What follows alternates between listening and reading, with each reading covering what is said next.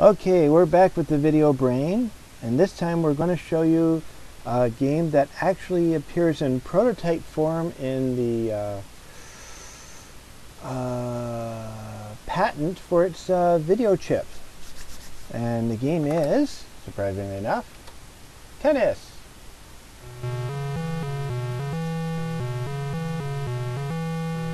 And we'll start that off quickly for you guys. There we go. There goes the ball boy. Now I've only got myself to play here, so I'm going to be playing both sides. And uh, a couple of features that uh, you can notice about the VideoBrains uh, bouncing off the top there. VideoBrains video system is you see that audience at the top there, the uh, five guys. That's actually one uh, binary representation repeated across the uh, object several times. That's one of the features of the video chip, the VideoBrain.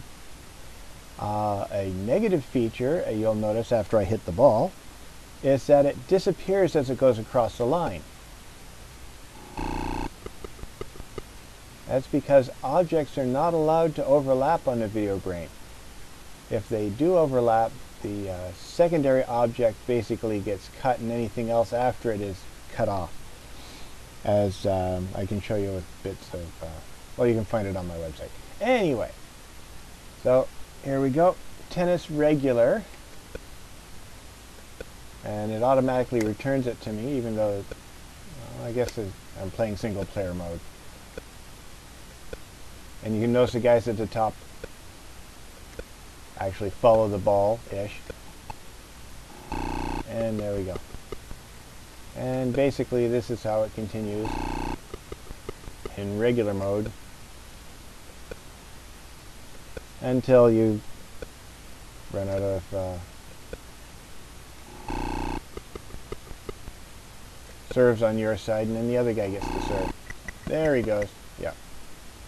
So now I'll show you some of the various modes which are rather interesting. the first is just a fastball.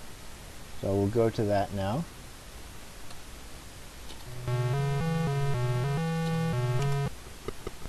And you notice it gives you a different color background to tell you which game you're in. So here goes fast. Uh, oh.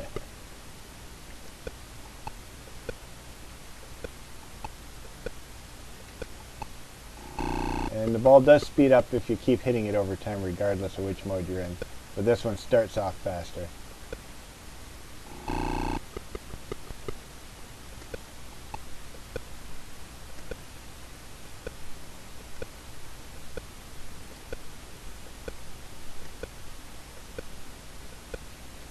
I guess about as fast as it goes. Okay, and the next mode is bounce back, which is interesting.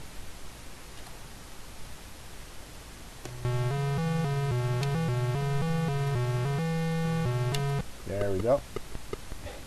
Now bounce back is a bit tricky.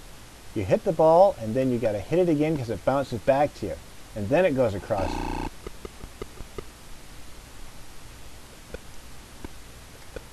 And if he hits it, he's got to do the same thing. When you hit an odd angle, it gets really fun to try and hit that back. Oops, darn it. There we go again.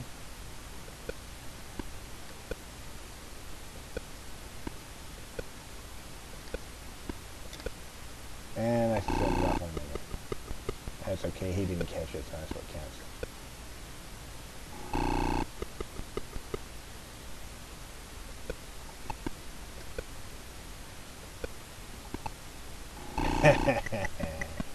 and that's it for that one. And now curveball.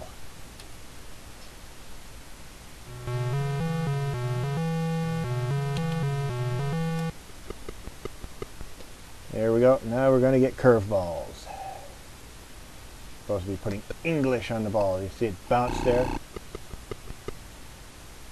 And apparently the curves get wilder as uh, as he managed to hit them back and forth. Let's see if I can get one to him this time. Well,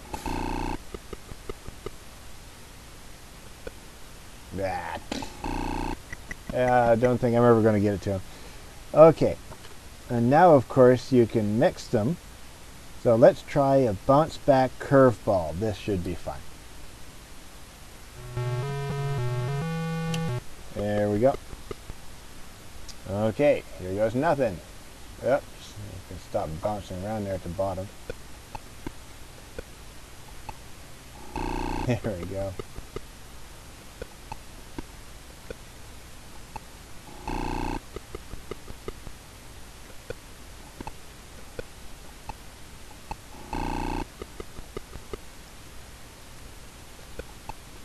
Oops. I'm hitting nowhere near him. And of course you can go for the all-out game, which is uh, fast bounce back and curveball. Oh, there it is. Ah, pink! I hadn't tried that one before. Uh, I didn't expect that background color. There you go. Double hit, fastballs, and wild angles.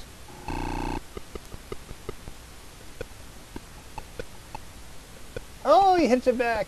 Yeah, hey, I got one to him. Ah!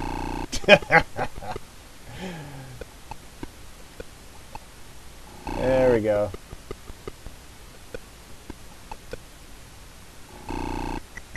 And it's his turn. Now, this is a regular game. You can also have uh, rushing the net, two players rushing, and four-player game if you get extra controllers. I've only got the two controllers and only myself to play with today. So that's all we're going to see. So I hope you enjoyed that, and that's it for now. Thank you. Enjoy.